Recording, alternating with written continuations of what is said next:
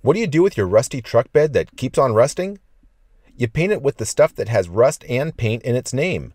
POR15's three-step system and their OEM bedliner.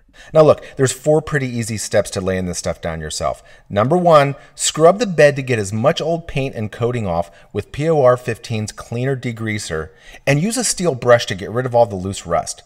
Then you rinse that all with water. Next, spray the clean bed with their metal prep. Keep this stuff wet for 20 minutes and then rinse this off with water too. When it dries to a white haze, you're ready for step three, but make sure you got that white haze ready to go.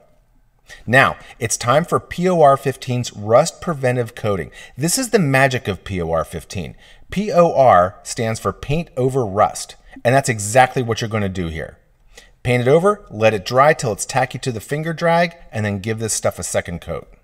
Okay, once that's dry, now it's time to start laying down the magic that is the OEM bed liner. Make sure you stir up the thick rubber stuff from the bottom of the container and then lay it down with a lint-free roller. When it dries just enough to drag your finger across it without sticking, do a second coat and then repeat that one more time for a third coat and you're going to get that perfect factory installed bed liner look. So check it out. Stop the rust in the bed, protect it from damage with POR 15's bed liner, and you're going to get a pro bed liner look that you can do at home for a lot less than the pro bed liner.